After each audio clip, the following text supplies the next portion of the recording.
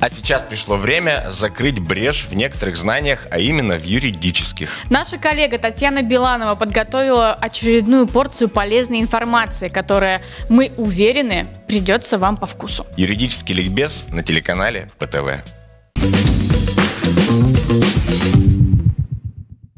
Здравствуйте! В студии Татьяна Биланова, консультант по юридическим вопросам. Сегодня поговорим на тему «Риски при аренде квартир». В России свыше 90% арендного жилья находится в теневом секторе и сдается без заключения официальных договоров. Одна из основных причин этого – нежелание собственников, а точнее арендодателей, платить налог.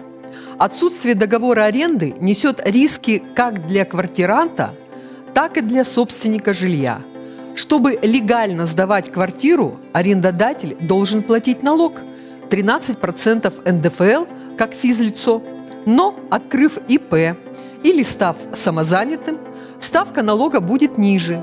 Для ИП она составит уже только 6%, а у самозанятого 4%, если жилье сдается физлицу, или 6%, если жилье сдается юридическому лицу. Случае аренды без договора участники сделки могут полагаться исключительно на порядочность друг друга. Но обращаю ваше внимание, что любые договоренности на словах не имеют юридической силы.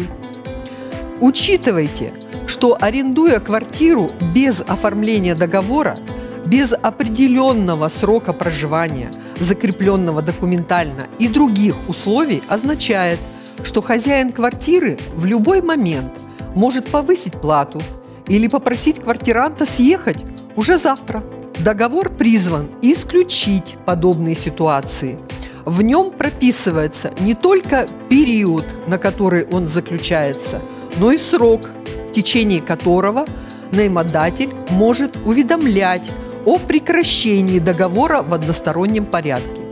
Кроме того, в договоре можно указать, что при несоблюдении такого требования наймодатель должен будет выплатить неустойку квартиранту, так как в подобной ситуации он несет финансовые потери. Ему необходимо будет оплатить поиск другого жилья, оформление новой сделки и переезд.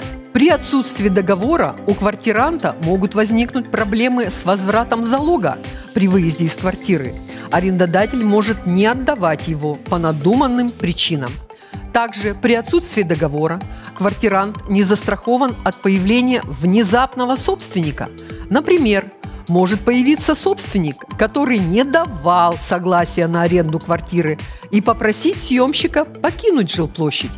Кроме того, высока вероятность встречи с черным риэлтором – он может сказать, что собственник за границей и сдает квартиру по доверенности через него, а спустя несколько дней реальный собственник попросит освободить квартиру. Также черные риэлторы могут массово собирать залог с нескольких нанимателей, которые затем эту квартиру не могут арендовать и теряют залог. Еще одна уловка, к которой иногда прибегают собственники жилья – Ремонт в счет проживания. В объявлении хозяин предлагает снять квартиру на долгий срок по сниженной цене под ремонт. То есть квартирант платит за проживание, например, на 20% меньше положенного и должен провести косметический ремонт. Жилец сам покупает отделочные материалы, устраняет неисправности и так далее. Как только ремонт выполнен, арендодатель требует от жильца освободить квартиру. Потом он сдает ее за полную стоимость или живет в отремонтированной квартире сам. Для наймодателя, который сдает свою недвижимость без договора, проблемы с арендной платой.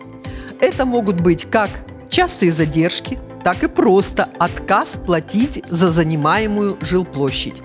Нередко при отсутствии договора жильцы прекращают платить аренду, фактически продолжая проживать.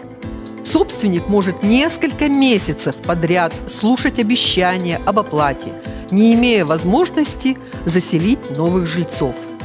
Выбор за вами – в тени или заключать официальный договор. На этом все. И помните, знать свои права значит быть сильным. С вами была Татьяна Биланова, консультант по юридическим вопросам.